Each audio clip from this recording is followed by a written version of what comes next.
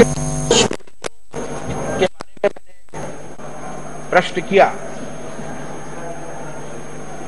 मैंने ये जानना चाहा कि जो 18 कोल्ड स्टोरेज कृषि मंत्रालय में पंजीकृत है, उनकी कुल स्टोरेज क्षमता क्या है? इसकी जानकारी मंत्री जी को नहीं। मैंने ये जानना चाहा कि कुल कितना सेल्स टैक्स कुल कितना मंडी टैक्स कुल कितना अनुज्ञा परमिट, शुल्क, कोल्ड स्टोरेजों ने शासन को दिया है, इसकी भी कोई जानकारी नहीं थी।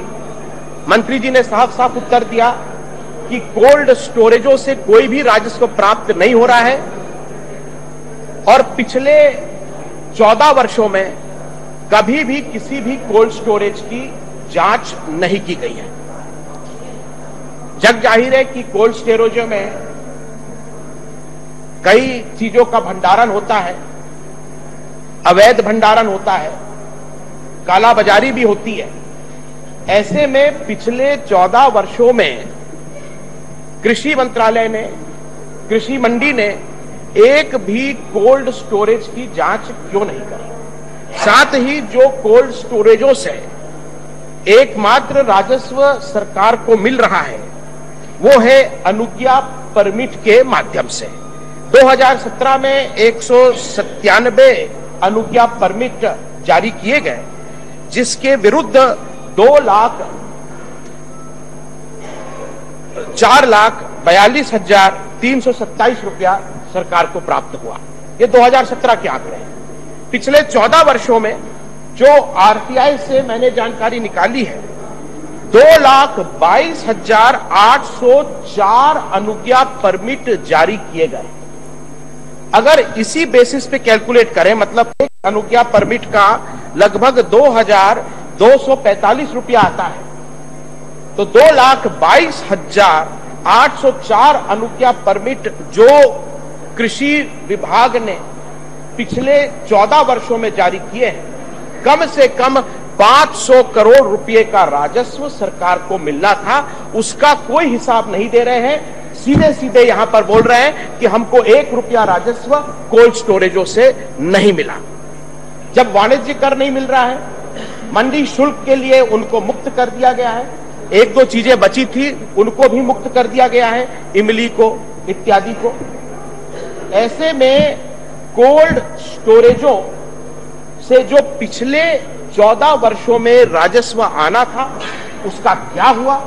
इस पर जाँच होनी चाहिए। कम से कम 500 करोड़ रुपए की मेहरबानी उन पर करी गई है इस सरकार की। साथ ही आज हमारी तरफ़ से एक स्थगन प्रस्ताव लाया गया। गुमटेर में 24 जनवरी 2018 को नारायणपुर जिला छोटा डोंगर में डीआरजी के दो सब इंस्पेक्टर और चार जवान शहीद हुए। लगातार हमारे जवान नक्सली घटनाओं में शहीद हो रहे हैं। एक तरफ़ विधानसभा चल रही है, दूसरी तरफ़ एक फरवरी से छह फरवरी तक नक्सलियों ने बस्तर बंद कराकर वहाँ पर जो तांडव किया।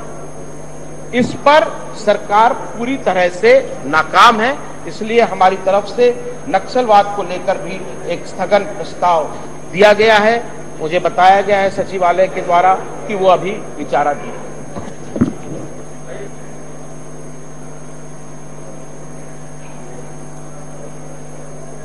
ओके? पूरे प्रदेश के गौशाला संबंधित माननीय मंत्री जी से जानकारी चाहा। माननीय मंत्री जी ने 115 गौशाला का पंजीयन बताया। और उसके बाद हम लोगों ने सवाल किया माननीय मंत्री जी से कि ऐसे गौशालाएँ हैं जो बिना गाय के भी पालन हो रहे हैं। लेकिन उनको राज्य सरकार ने दो गौशालाओं को चार लाख निन्यानबे हज़ार, चार लाख छियानबे हज़ार रुपए और एक गौशाला है जहाँ इकतीस लाख रुपए दिया है। तो इन्होंने, इन पे अपने प्रश्न किया। और उसके बाद ऐसे गौशालाएँ माननीय मंत्री जी ने दिखाए सात गौशालाएँ जहाँ उन्होंने गौशालाओं का संख्या ज़ीरो बताया। लेकिन हमने पूछा मृत गौशालाओं का? तो जहाँ ज़ीरो बताया उन्होंने वहाँ पे भी मृत घोषित किया है। तो उसके अलावा पूरे प्रदेश में आप देखेंगे इस दो सालों में 6,325 गाय और पशुओं को मृत्यु हुई है। ये सीधा सीधा सरकार की नाकामी है। और सरकार इसमें बहुत बड़ा गड़बड़ हुआ है। इसलिए सरकार पे हम लोग का आरोप था और सरकार के जवाब से संतुष्ट नहीं हुए हम लोग और बहिर्गमन किए। हमारे क्षेत्र में कोंडागांव ज़िले में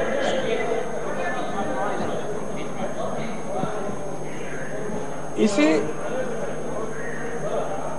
इसी प्रश्न के माध्यम से मैंने पूरक प्रश्न माननीय मंत्री जी से जानना चाहता कोंडागांव ज़िले में चार गौशालाओं का पंजीयन हुआ है।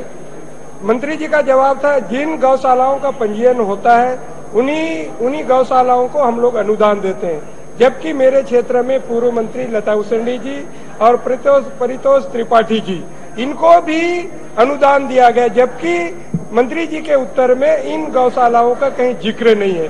तो सरकार कहीं ना कहीं अपने अपने को दे रही है।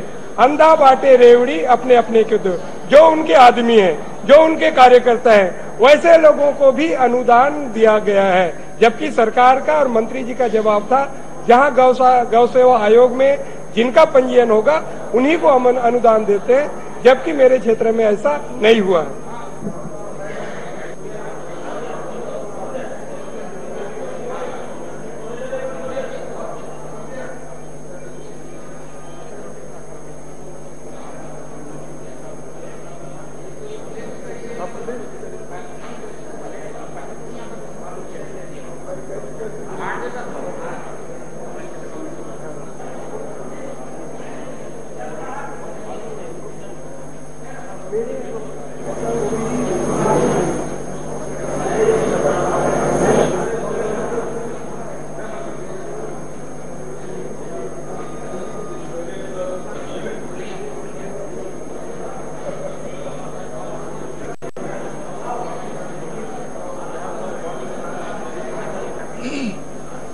सरकार लगातार यू टर्न ले रही है, चाहे आदिवासियों की ज़मीन खरीद का मामला हो, चाहे पंचायत के चौदह वित्त आयोग का पैसा जो 610 करोड़ था, उसे लेने की बात थी कांग्रेस पार्टी के लगातार दबाव के चलते वापस लिया। लेकिन अभी जो स्थिति है, बहुत बहुत सारे पंचायतों के दबाव पूर्वक सरपंचों से सचिव से हस्ताक्षर करा लिए। लेकिन वहीं बहुत सारे पंचायत हैं जिसमें सरपंच और सचिव ने हस्ताक्षर नहीं किए। उसके बावजूद भी वो पैसा हस्तांतरण हो गया। ये अभूतपूर्व स्थिति पूरे देश में इस प्रकार की घटनाएँ नहीं घटी है ये पूरे देश की पहली घटना है कि छत्तीसगढ़ छत्तीसगढ़ सरकार के निर्देश पर पंचायतों के पैसा बैंक अधिकारियों ने बिना सरपंच और सचिव के हस्ताक्षर के उसे सर, चिप्स में हस्तांतरण कर दिया गया। ये थोड़े बहुत राशि नहीं, सैकड़ों करोड़ का मामला है। इसमें सीधा सीधा जिन अधिकारियों ने आदेश दिया, जिन अधिकारियों ने हस्तांतरण किया, बैंक के अधिकारी, सरकार के अधिकारी, इन पे, इन दोषियों पे कार्रवाई होना चाहिए तो बिना हस्ताक्षर के हस्तांतरित कर दिए रुपये। ये संगठित लूट है।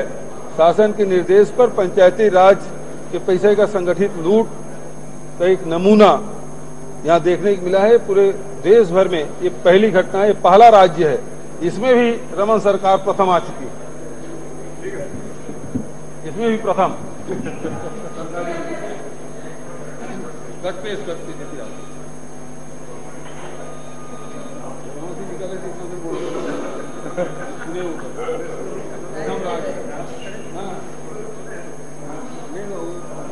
भी खत्म हो गया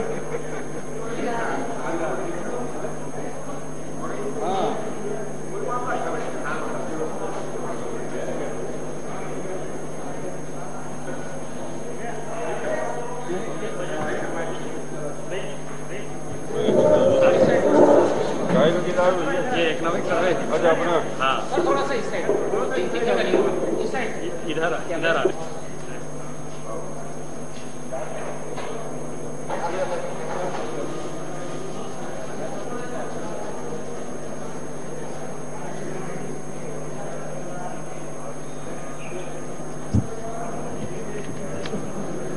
आज छत्तीसगढ़ आर्थिक सर्वेक्षण वर्ष 17-18 और इसके कुछ प्रमुख बिंदु जो आज किताब का आज विमोचन हुआ, सांख्यिकी संचालनालय के द्वारा। छत्तीसगढ़ राज्य के जीएसडीपी वर्ष 17-18 में दो लाख बयानबे हज़ार छत्तीसगढ़ का कुल जीएसडीपी दो लाख बयानबे हज़ार करोड़, जो 16-17 में दो लाख बैसठ हज़ार करोड़ अनुमानित था। इस प्रकार जीएसडीपी का ग्रोथ जो है, विकास दर है, दो बैसठ से दो बयानबे हज़ार करोड़, ग्यारह दशमलव दो दो प्रतिशत का अनुमान है। छत्तीसगढ़ और भारत के जीएसडीपी के तुलनात्मक अध्ययन करें तो छत्तीसगढ़ का सत्रह अठारह का ग्रोथ छह दशमलव छह पाँच और वैसे ही राष्ट्रीय ग्रोथ जो है नेशनल ग्रोथ है 6.5 परसेंट रहा है।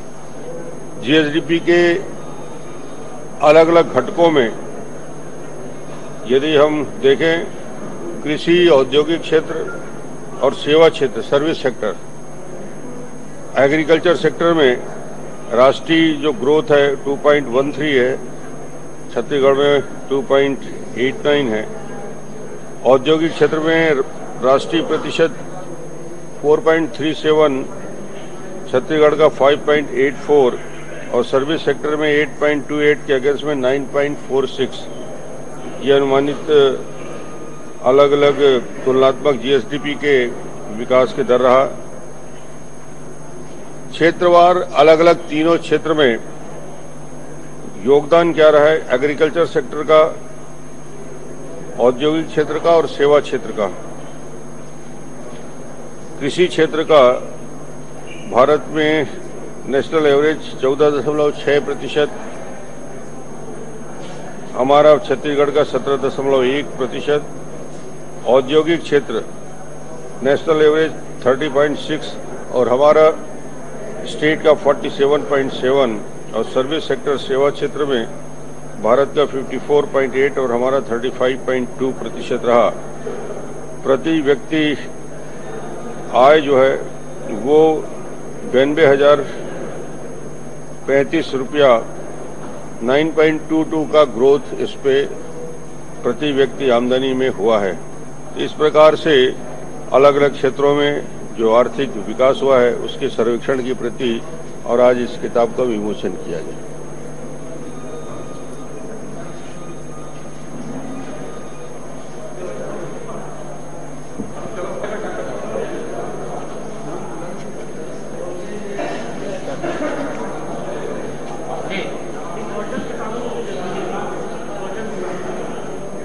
क्या एक ध्यान आकर्षण आया था?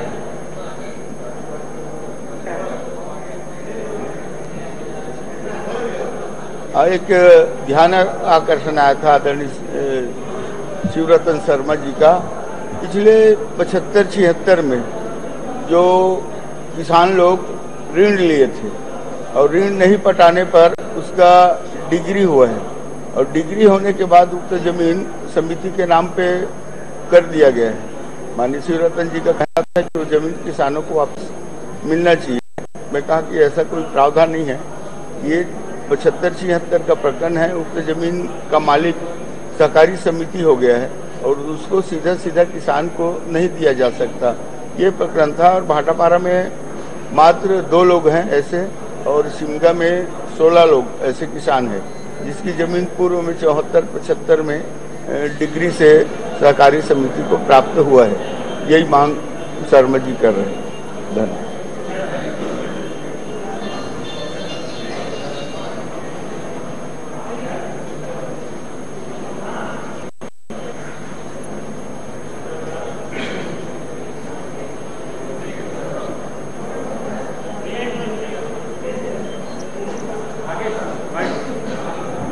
कल के बजट से उम्मीद बजट को